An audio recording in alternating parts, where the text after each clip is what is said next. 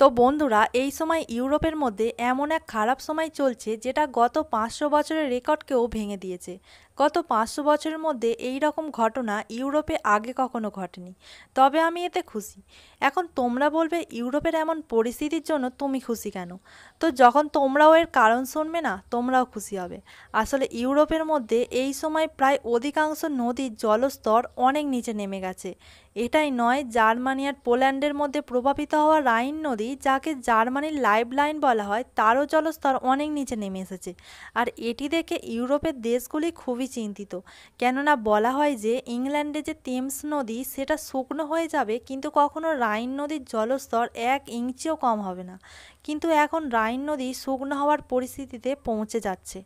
এটাই নয়, ব্রিটেন সমেত ইউরোপের অনেক দেশে খরা ঘোষিত হয়ে গেছে, হিট ওয়েভ চলছে। শুধু এটাই না, এই এক মাসের মধ্যে প্রায় আড়াই হাজার মানুষের মৃত্যু পর্যন্ত হয়েছে। এত ভীষণ গরম যেটা পঁয়তাল্লিশ ডিগ্রি টেম্পারেচারকেও ছাপিয়ে গেছে। ইউরোপের বিজ্ঞানীদের মতে পাঁচশো বছরের মধ্যে এত তীব্র গরম ইউরোপের মধ্যে আগে কখনো পড়েনি। কিন্তু তুমি বলবে, ইউরোপের মধ্যে এত খারাপ অবস্থা, আর তুমি খুশি হচ্ছ?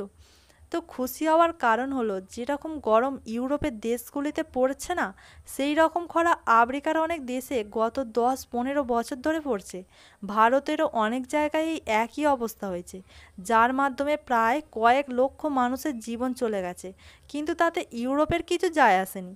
ইউরোপিয়ারা গত একশো বছরের মধ্যে প্রচুর পরিমাণে পরিবেশ দূষণ করেছে, যার ফলে বিশ্ব উষ্ণায়ন হয়েছে, জলবায়ু পরিবর্তন হয়েছে আর গত দ, পনেরো কুড়ি বছর ধরে এই জলবায়ু পরিবর্তনের ফলে আমাদের দেশের বহু মানুষ প্রাণ হারিয়েছে।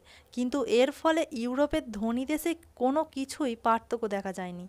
কিন্তু যখন এদের নিজের মাথার উপরে বিপদ, তখন তোমরা নিজেই দেখবে, পরবর্তী দুই তিন মাসের মধ্যেই ইউরোপের ধনী, শক্তিশালী, অহংকারী দেশ ভারতের কাছে নিচু হতে বাধ্য হবে। এবার তোমরা বলবে, বিশ্ব উষ্ণায়নের সাথে ভারতের কী সম্পর্ক? আসলে যখনই বিশ্ব উষ্ণায়নের কথা বলা হয়, তখন এই সব দেশগুলি বলে যে ভারতকে দূষণ কম করা উচিত। কিন্তু ভারত তখন পরিষ্কারভাবে জানিয়ে দেয়, আমরা দূষণ কম করতে রাজি আছি। ভারতে বেশিরভাগ ইলেকট্রিক কয়লা পুড়িয়ে করা হয়, ভারত একে বন্ধও করে দেবে। কিন্তু ইলেকট্রিক তো আমাদেরও প্রয়োজন। এর জন্য আমাদের নিউক্লিয়ার রিয়াক্টার বানাতে হবে। পরমাণুর মাধ্যমে ইলেকট্রিক তৈরি করতে হবে আর এর জন্য প্রয়োজন অর্থের। এই জন্য ভারত বলেছে যে, ইউরোপীয় দেশ যারা গত একশো বছর ধরে প্রচুর মাত্রায় দূষণ ছড়িয়েছে, এখন এদের উচিত টাকা দিয়ে আমাদের সাহায্য করা যাতে আমরা আমাদের কয়লা প্ল্যান্ট সরিয়ে ওই জায়গায় নিউক্লিয়ার প্ল্যান্ট স্থাপন করতে পারি আর বিশ্ব উষ্ণায়ন বন্ধ করতে পারি। তো তোমাদের এই ভিডিওটি ভালো লাগলে অবশ্যই সাবস্ক্রাইব করে নাও।